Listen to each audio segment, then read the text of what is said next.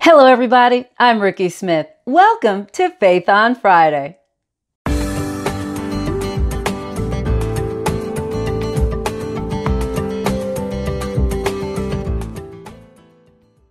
They have been around since the beginning of time, and my, how they've grown.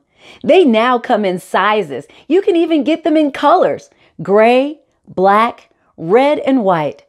Cities, governments, empires, and organizations have been built on and destroyed by them, and yet they continue on.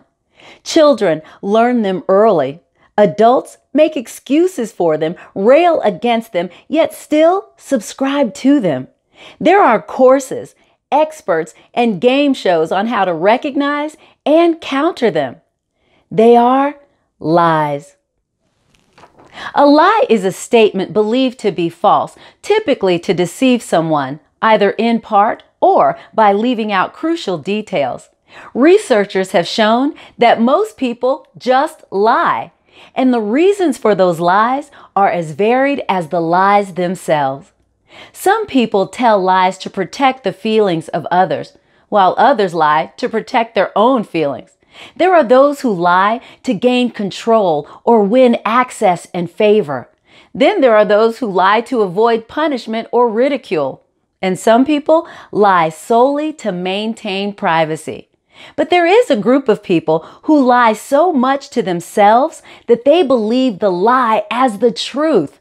What a horrible self deception. Lying in itself doesn't take much bravery at all. All it takes is some creativity, maybe some acting skills to sell it, and then knowledge of your target. But in the end, the lie rarely goes well. Being honest, on the other hand, is more than just not lying. Being honest is about doing the right thing even when you don't have to, and sometimes to your own detriment.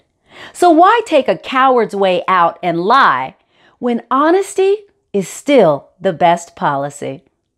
Thank you everybody for watching and thank you so much for sharing the video. If you haven't already, subscribe to our YouTube channel, give us a thumbs up, and leave us a comment. My name is Rikki Smith, and I'll see you next Friday.